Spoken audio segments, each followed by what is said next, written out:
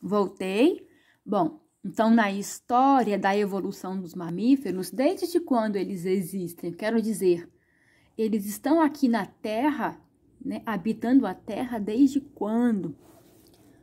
Turma, cientistas dizem que nós mamíferos, não nós seres humanos, tá? Que nós fomos um dos últimos mamíferos a aparecer na Terra. Mas antes de nós, os mamíferos, olha, esse animal aqui é um mamífero e aqui também, eles conviviam com os répteis, os dinossauros. Então, mamífero já existe aqui na Terra desde a era dos répteis, desde a época dos dinossauros. E, turma, isso é muito interessante porque nós tivemos, os mamíferos tiveram que se adaptar. Por quê?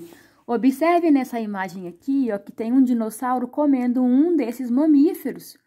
Então, dizem os cientistas que tanto os dinossauros quanto os mamíferos, quando surgiram aqui na Terra, eles tinham hábitos diurnos. Então, eles saíam para caçar alimento de dia. Só que os mamíferos, eles eram presas dos dinossauros. Os dinossauros comiam os mamíferos. Então, é, a natureza foi selecionando o seguinte: aqueles mamíferos que saíam de dia, eles viravam é, presa dos dinossauros. Mas à noite os dinossauros não caçavam. Então os mamíferos que desenvolveram o hábito de caçar à noite, como é o caso do gambá, o caso do lobo-guará, esses mamíferos que saem à noite, eles não encontravam com os dinossauros e sobreviviam mais. É por esse motivo que tem mamífero que só sai para caçar de noite. Porque isso já veio lá dos tempos passados, eles adquiriram essa característica de tempos passados. Os répteis, eh, nessa época da era dos répteis, da era dos dinossauros, eles eram tão ferozes que qualquer coisa virava presa para eles, né? Eles queriam comer, comer, comer. E nessa brincadeira, os, os mamíferos, eles dançavam, né? Eles eram, eles viravam presas. Então, tiveram que desenvolver é, uma outra maneira de sobreviver. Na verdade, sobrevivia aqueles mamíferos que desenvolveram a característica de sair à noite. Me ajude a lembrar aí, gente. É, o lobo-guará sai de noite, os gambás saem de noite, o porco-espinho sai de noite, Muitos ratos saem à noite, né? Todos mamíferos. É um, uma adaptação que já vem de muito tempo. Legal, né? Adiante. Aqui mais um mamífero, né, pré-histórico, para a gente ver que eles eram alimento dos dinossauros, ó. Um dinossauro acabou de avistar uma presa e essa presa é um mamífero. Então, inicialmente, os mamíferos eram muito predados pelos dinossauros. Coloquei esse slide para lembrar vocês, turma, que os mamíferos eles podem ser aquáticos, terrestres ou voadores. Esse animal é o peixe-boi da Amazônia, né? Aqui é uma fêmea com o seu filhote. O peixe-boi da Amazônia é extremamente dócil, ele é herbívoro, então ele come plantas aquáticas, ele é gordão assim, né? Assusta de ver, mas é um animal muito dócil, turma. E ele é morto lá na Amazônia porque a carne é apreciada, infelizmente, né? Mas olha que lindeza. Um mamífero lindo aquático. Olha como os, as patas traseiras, né, desapareceram e deram lugar a uma cauda que parece um remo, né, para ele poder se locomover na água. Muito bem. Como é que ele respira, vocês sabem? Ele tem brânquias ou pulmões? Pulmões, turminha. Então, o peixe-boi, quando quer respirar, ele vai lá para a superfície e pega o oxigênio do ar. Os mamíferos têm pulmões, certo? Respiração pulmonar. Coloquei esse macaquinho aí, gente, porque dizem os cientistas que ele é o nosso ancestral mais distante, olha. É, olha como ele é pequenininho, na mão dele tem um gafanhoto, ó, um, um louva-a-Deus, quer dizer. Então, ele é um macaco bem pequenininho. É, o grupo dele é chamado de símio. Dizem os cientistas que os humanos, A linhagem dos seres humanos, do Homo sapiens, evoluiu a partir desse macaquinho aqui, ó, os símios. E esse macaco ainda é arborícola, né? Olha como ele tem a cauda longa para ele poder se segurar de galho em galho. Então, durante a evolução, né, com milhões de anos, esse macaco é, ele desenvolveu um tamanho muito maior, a cauda desapareceu, ele que é quadrúpede, viramos bípede, né? É um pensamento bastante hum, visionário, né? Bastante difícil de fazer esse, entendimento desse macaco símio para os seres humanos. Mas há evidências fortíssimas de que esse é o nosso ancestral. Ah, ele é bem esquisitinho, né? O rostinho, olha. Mas já tem olhos frontais, orelhas laterais. Ah, tá vendo? Ah, o... Vocês estão vendo a gambiarra que eu fiz aqui para filmar, né, gente? O morcego é um mamífero, gente, que voa. Ele tem asas, mas não tem penas. Penas é, são estruturas de aves. Essa asa dele nada mais é do que uma membrana, é uma pele, né? E ele consegue voar, olha. Eu acho bonitinho, né? Tem gente que acha muito feio. Esse aqui é macho, gente, olha pra você ver o órgão genital. E olha aqui como ele tem os dedos longos. São dedos isso aqui, olha. Os dedos do morcego. Características dos mamíferos, mais algumas, né? Já falei tantas. A pele. A pele dos mamíferos, turma. Observe aqui um corte de pele de mamífero. É uma pele que tem três camadas. A camada de cima, que tá aqui numa cor clarinha a camada do meio, que está aqui no amarelo, e a camada interna, que está aqui em cor de terra. A pele dos mamíferos, então, ela possui três camadas. A epiderme é a camada de fora, a derme é a camada do meio, e o tecido adiposo ou hipoderme é a camada de dentro. Turma, a pele dos mamíferos, além de possuir as glândulas mamárias, né? É, a pele também possui pelos, então olha aqui o número 1, um, é um pelo, olha, olha onde a raiz do pelo está. Tá lá na camada mais interna da pele. Por isso que quando você faz uma depilação, a cera, se arranca o pelo com a raiz, às vezes até sangra, né? Porque o pelo tá profundo, gente, né? Então, nós temos aqui um pelo, nós temos aqui, tá vendo o número 2? Grudado no pelo em amarelo é uma glândula sebácea. Glândula sebácea. Guarde essas palavras, tá? Vai cobrar no exercício.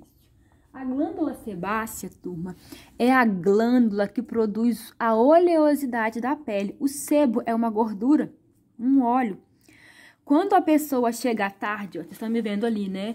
Que a pessoa passa a mão assim, ó, no nariz e olha o dedo, o dedo tá brilhando. Aquilo é óleo, aquilo é sebo. Quem produziu esse óleo? Essa glândula aqui, que é a glândula sebácea. Aí ela joga o sebo aqui pro pelo e esse sebo vai escorrer pelo pelo e vai escorrer pela sua pele. Quando a pessoa tem o cabelo muito oleoso, que você olha assim em cima, o cabelo da pessoa tá até grudando, de tanto óleo. De onde que veio esse óleo? Veio dessa glândula aqui, da glândula sebácea. Em contrapartida, aquela pessoa que tem o cabelo muito seco tem pouco, pouco sebo, tá precisando produzir mais, porque o brilho do cabelo, turma, ele é dado também por esse óleo que essa glândula sebácea produz. Então, olha, nós temos o pelo, a glândula sebácea. Nós temos o 4, vamos pular para o 4. O 4 também é uma glândula, olha. Ela tá lá na terceira camada da pele e ela tem um ducto, um canal, que joga a substância que ela produz aqui para fora da pele. O 4 é a glândula sudorípara. Já ouviu falar? Glândula sudorípara é uma glândula por onde sai o suor. O que é o suor? suor é uma mistura de água e sais minerais. E quando essa água e esses sais minerais estão saindo do meu corpo, junto com eles sai o calor. Então, a função do suor é resfriar o meu corpo. Em qual situação que eu suo? Eu suo quando eu estou fazendo atividade física, ou eu suo quando eu estou com muito calor. Então, se eu só subo quando eu estou com calor, a função desse suor é retirar o calor do meu corpo. Gente, ainda bem que nós suamos, senão a nossa temperatura ia chegar a 100 graus num momento, por exemplo, de atividade física. Aí a gente morre, né? Então é uma adaptação ter glândula sudorípara, ter glândula sebácea, ter pelo para segurar o calor, principalmente no frio. Tranquilo? Nós temos também essas estruturas aqui, olha, que parecem umas árvores, umas folhas, né? Tá aqui em lilás, em azul e ela vai até ali para cima. Essas estruturas, turma, são os nossos nervos. São os neurônios que nós temos na pele, aqui também, ó. Graças a eles, a gente consegue sentir pela pele que tá frio, que tá quente, que é liso, que é áspero, né? Então, a nossa pele, a pele de mamífero, é uma pele extremamente complexa, cheia de estruturas que ajudam a manter a saúde do nosso corpo. Além disso tudo que eu falei, além da pele ter glândulas sebáceas, sudoríparas, nervos e pelos, a pele também possui a queratina. O que é a queratina? É uma proteína que não deixa a água sair do meu corpo. Então, em cima da nossa pele, aqui, ó, aqui em cima, tem uma camada dessa queratina. E quando tá muito calor que a água quer evaporar do meu corpo, a água não consegue, porque a queratina impede a água de sair de mim para o ambiente. É uma adaptação também para a gente não morrer seco, não desidratar. Muita informação, não é, turminha? Mas não é difícil, não. Adiante. Então, nós temos duas glândulas importantes na pele. As glândulas sebáceas, que fabricam o sebo, né, que é uma gordura, que lubrifica a pele, que lubrifica o cabelo. As glândulas sudoríparas, elas eliminam o suor, que é uma mistura de água e sais, e junto com o suor sai o calor. Então, essas glândulas ajudam a regular a temperatura do nosso corpo. Essa informação aqui é muito importante, tá? Guardem ela, a função das glândulas sudoríparas. Nós não falamos em glândulas em répteis. Répteis não tinha glândulas, né? Aves também não. Mamífero tem, tem muitas. Gordura. Olha esses animais. São focas, né? Olha que lindas, gente, gordinhas. Turma, em geral, os animais de clima frio, eles são gordos, né? Pensa aí, foca, leão marinho, elefante marinho, é, urso polar, as baleias, são animais gordos. Por que, que eles são tão gordos? Esses animais que vivem em clima frio têm embaixo da pele uma camada grossa de gordura. E essa gordura tem uma função específica: isolante térmico é uma gordura que não deixa o animal perder calor, então ele consegue sobreviver mesmo em locais de clima frio.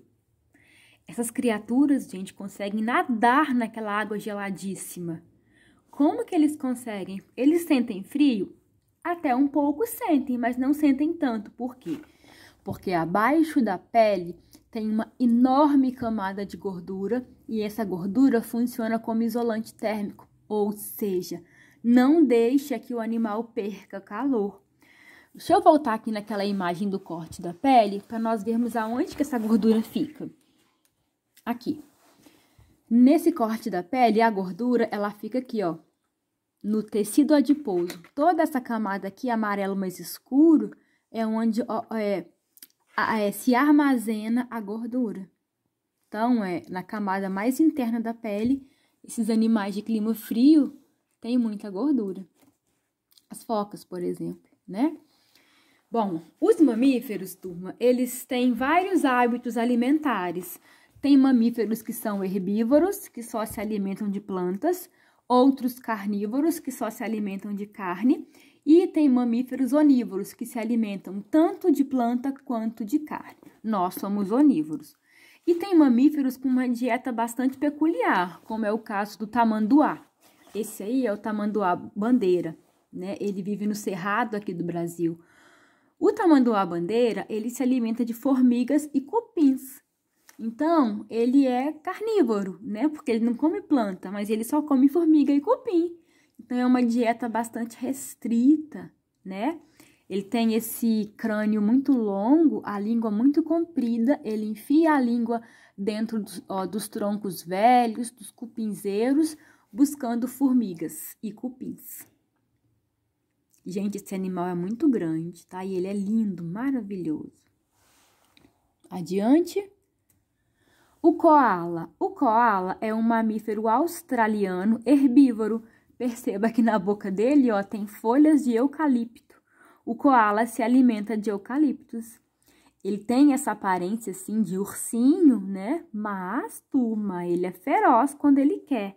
Então não se engane com a aparência do koala. O koala, ele se alimenta de eucalipto. O eucalipto é uma planta nativa da Austrália, quer dizer, a, o eucalipto é da Austrália. Aqui no Brasil também tem, mas porque alguém buscou na Austrália, né?